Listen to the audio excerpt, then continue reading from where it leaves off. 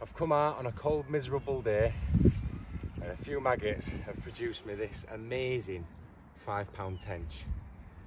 That's what we're talking about. Let's get the rods back in, let's get another one.